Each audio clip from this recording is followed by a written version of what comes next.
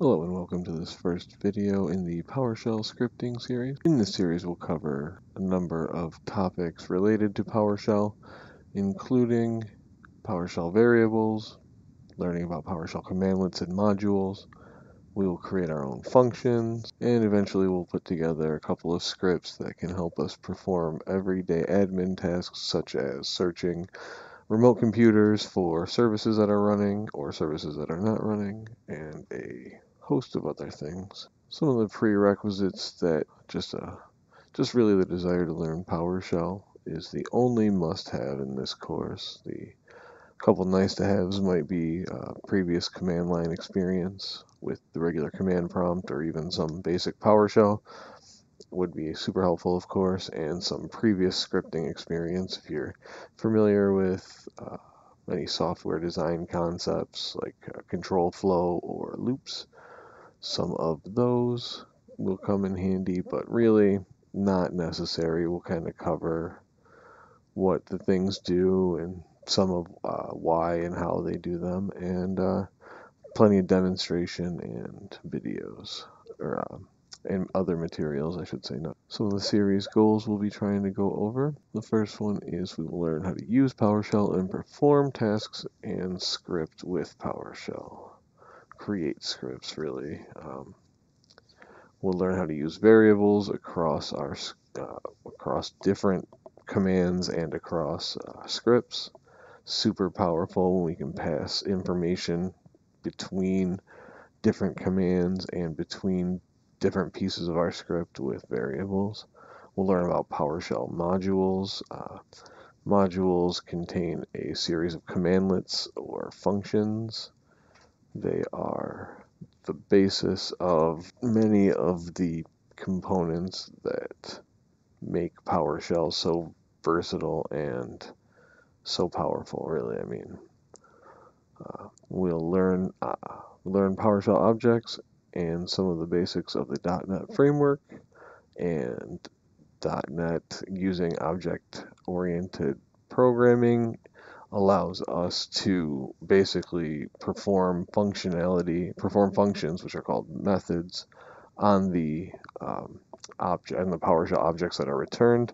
We can do plenty of things with them. We're going to get into it, but we can basically we can pull out any of the information that's available in that function, we can perform other actions on it, like count the amount of lines in it, or take all the text and make it uppercase, all kinds of cool stuff. We'll get into all of that, of course, as we go on. Again, we'll create some functions, scripts, and modules. In this course, we'll learn how to do all of those things, and we'll learn the some of the programming concepts that transcend PowerShell. You can be taken into Python, or PHP, any of these, that really the only difference will be the syntax, but everything else is just about the same as far as how you would go about building a script and how you would um, handle errors and interface with the user to get input, perform some functionality on that. Plenty of cool stuff to do. We'll go ahead and get right on into it getting started. In PowerShell, we have commandlets. They are the commands that are typed in. They're also kind of functions. They are lightweight and typically perform an action and return a .NET object to the next command in the pipeline. The pipeline is how is the method that PowerShell uses to take data and objects from the source to the requester. Basically, we're us sitting at a command prompt.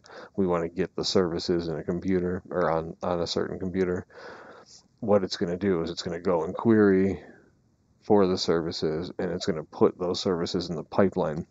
And inside the pipeline, we can move them to another command via the pipe command. Uh, will uh, or the pipe key, I should say. We'll uh, go ahead and see how that functions a little bit later. And a couple of examples of the uh, the commandlets in PowerShell are get service, we just uh, talked about. It provides the services on a computer. It'll go and get a list of them from the kernel. And get child item is uh, it retrieves a list of the contents in a directory, the files or other folders in a directory. That is uh, kind of like dir if you're familiar with the command prompt. That is the dir command, or if you're familiar with uh, Linux, it's the ls command. It will list out, and you can use both of those. We'll get into that, but you can use both of those in PowerShell as well as aliases. Really cool stuff there. And uh, the last example is rename computer, where we can uh, rename the local or remote computer and that needs to be run from an elevated command prompt. We get help from the get-help command, and then we'll type in the, we would need to type in the command uh, that we're looking for help on. So if we were looking for help on get child item, we would type in get help space, or get dash help space get dash child item.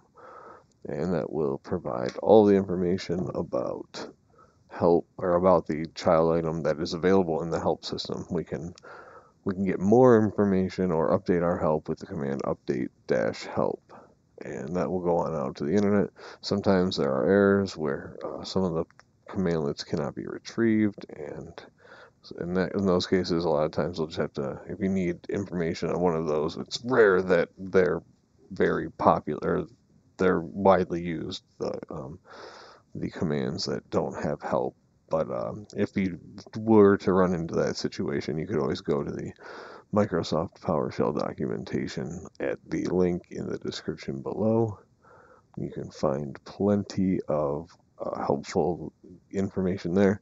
There are some what I like to refer to as Microsoft hieroglyphics. There in their um, in their documentation, they have symbols and characters and obfuscate um, what is actually going on with the command.